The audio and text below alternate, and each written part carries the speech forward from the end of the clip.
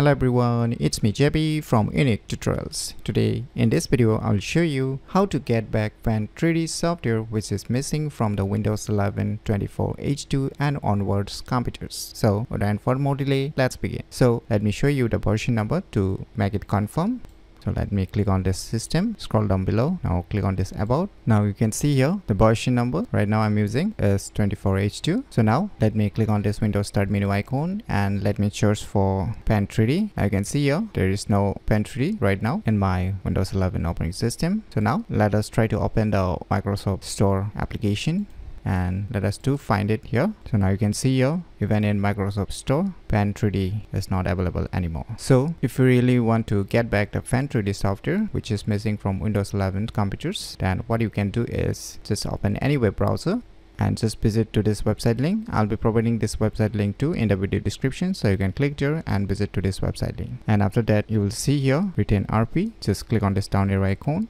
and just select this retail and now under this search box just paste one link again which i'll be leaving to in the video description. So now once you have pasted this link now click on this tick mark.